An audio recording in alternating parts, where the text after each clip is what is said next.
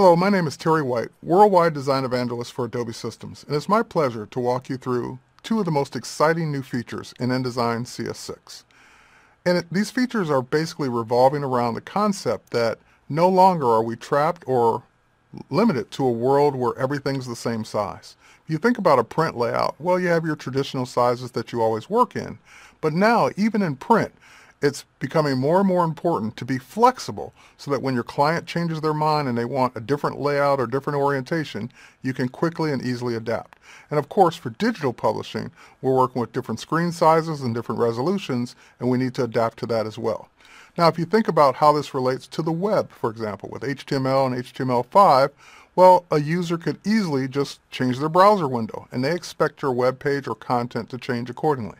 Well, now the same thing applies when we're working with InDesign documents, whether it be for print or digital output for tablets. So let's take a look. Liquid Layout is a new feature in InDesign CS6 that's HTML5 based that allows us to quickly and easily change the way our content will adjust based on the new size of the page or screen size.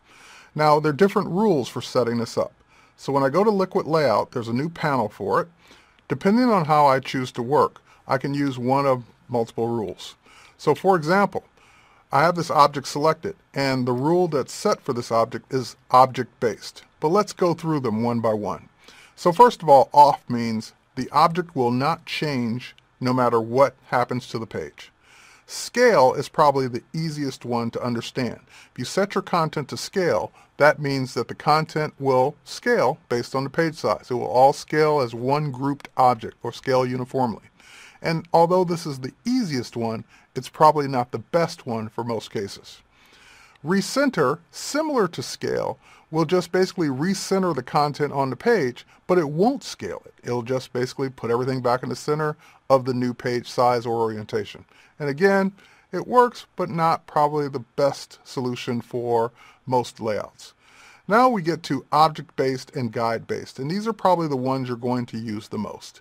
With object-based, you're setting some constraints on how it will resize. Will it resize the height? Will it resize the width? Will it, you know, when it resizes with the page? And whether or not you pin it so that it, how it moves around on the page. It's pinned to the top and right in this case, so it will not move from the top or right side of the page. So if the page gets wider, that content will move wider with it to the right. And if the content gets taller, or the page gets taller, the content will stay pinned to where it is at the top.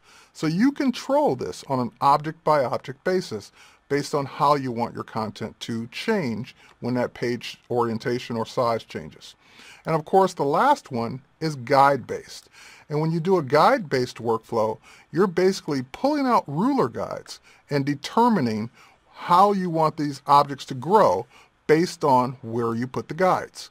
So the guide-based workflow works as well, but I think, I think most people will prefer an object-based workflow. Again, you have plenty of flexibility to choose whichever one you want. Now, how can you test this? In other words, without physically changing my page size or orientation, how will I know whether or not these rules are, are working the way I would like them to work? Well, we've done something new with the page tool.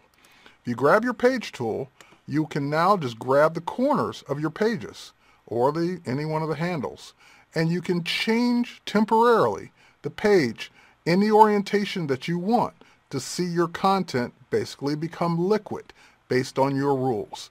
So you can see, hey, if I made this page wider, what would happen to my content? How would my content be affected? How would it change? If I made the page shorter, how short can I go before I start cutting things off? So you get to basically choose and test on a page-by-page -page basis how you want this content to work. And as soon as I let go, it snaps back to the actual page size. So that's liquid layout. What's alternate layout? Alternate layout is taking what we've done in liquid layout and actually putting it to work with an alternate layout inside your document.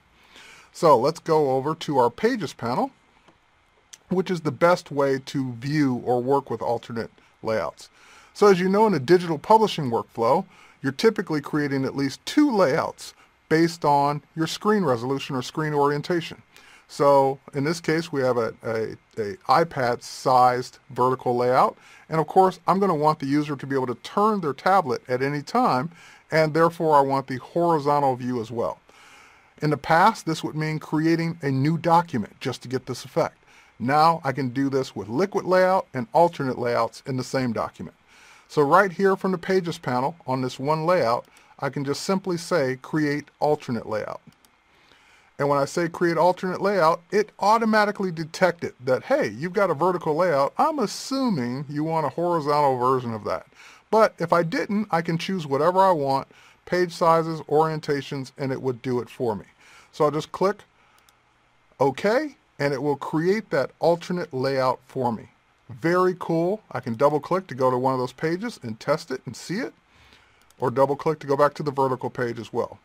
But you're not limited to just two layouts in the same document or one additional alternate. You can have as many alternates as you want. So for example, now that I've got this horizontal view, what if I'm working with a different screen resolution or a different screen um, aspect ratio? Let's create another alternate layout and this time we'll work with, for example, the Xoom and we'll work with a vertical one. Now the Xoom, or let's make this actually the Galaxy tab. That's the other tablet that I work with the most. So we have a Galaxy tab layout, which is more 16 by 9. So when we click OK, it will build that alternate layout for the Galaxy tab in a 16 by 9 orientation versus the original 4 by 3. And of course, we wouldn't stop there. We would create one more alternate layout in this case for the same thing, but we would make it the wide one. Galaxy tab, horizontal. So we'll click OK, and that will create the horizontal view for the Galaxy tab as well.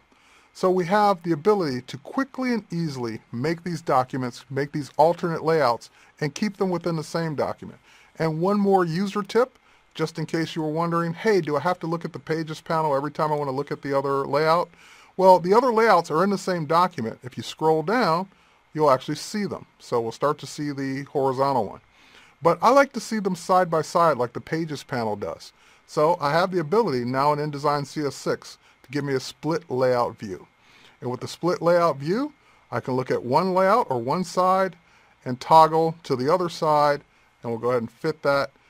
Let's go all the way up here or all the way down I should say and there we are. And we can see any adjustments that need to be made. For example, the type got a little cut off on that one. We can make the adjustment right there, as well as the one for the logo.